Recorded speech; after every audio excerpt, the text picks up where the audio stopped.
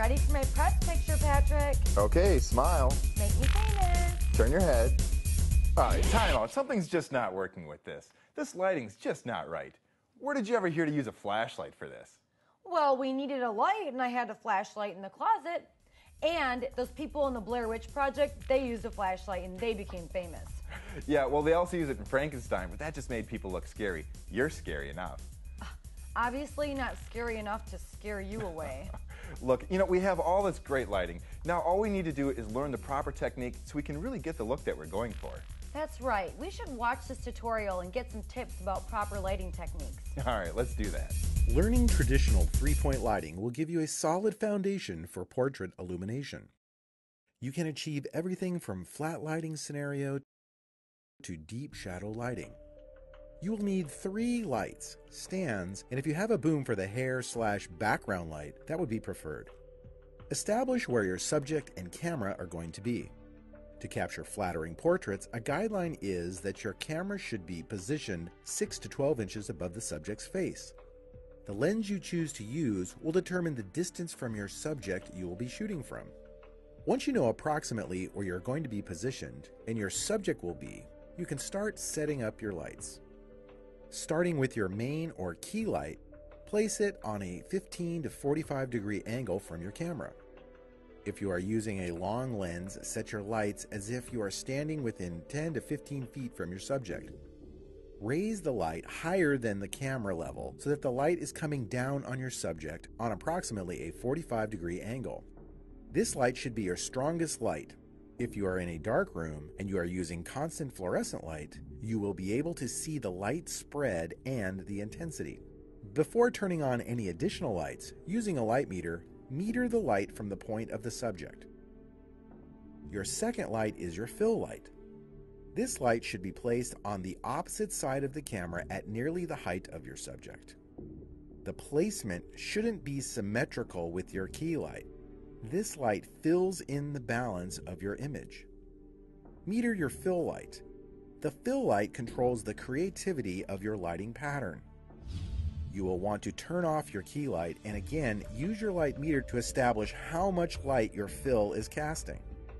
The creativity comes in with the variations between key and fill ratios.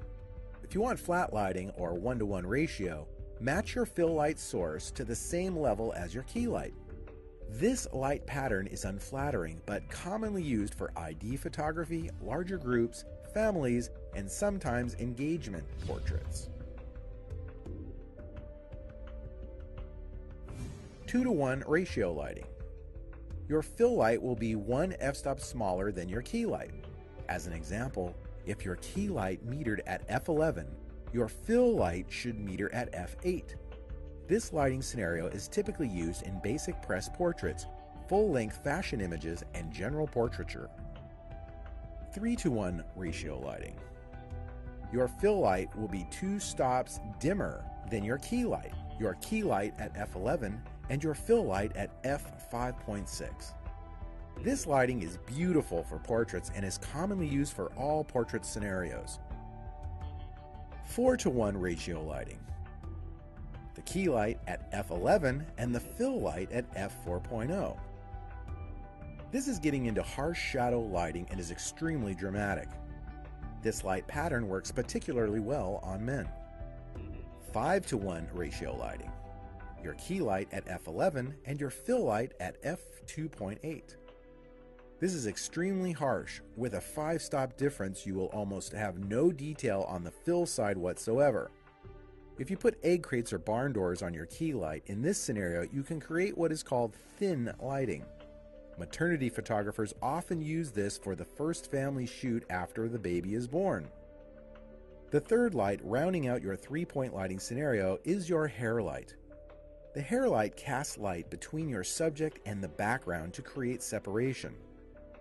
This light achieves separation by A. creating a sharp outline on the back of the subject and accenting the hair from the top, spilling down onto the shoulders from the back to front. This light is easiest used on a boom so that you can direct the light from directly above or from a slight angle. Typically, this light is a spotlight or snooted light. But if looking for a broader light source that will also illuminate your backdrop, a small softbox or light with a barn door can be used. If you want to create definition between the background and the subject, cast your light so that the back of the hair on the top of the crown is being lit. The rest of the light will fall on your background.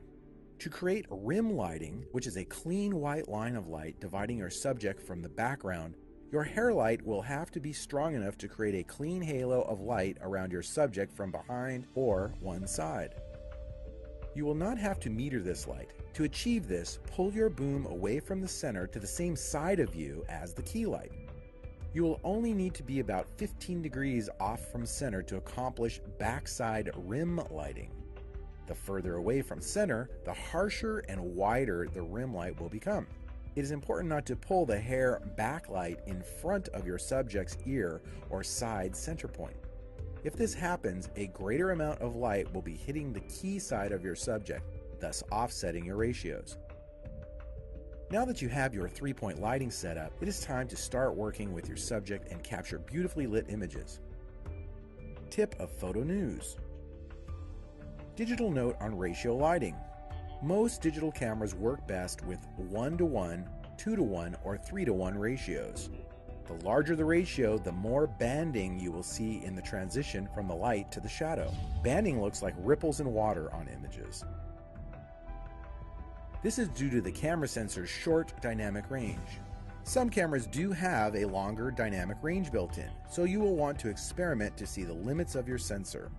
If you plan on smoothing in Photoshop, it is advisable to shoot the higher ratios in RAW, RAW, which will allow you to adjust the shadow highlights afterwards. This is great. Now that we know all these proper lighting techniques, we can get all different looks and styles by simply moving the lights around, and we don't have to change your outfit. You know how much time that's going to save? Oh yeah, we could definitely save a lot of time. We can use the butterfly lighting to get those really cool glamorous pictures I've been wanting. Oh, and for the press photo, we'll use broad lighting. Mm. And not to mention different light ratios. By simply moving them around and changing their intensity, we get a whole different look every time. Oh, and don't forget the scary flashlight look. look, Amber, you're scary enough. Rah!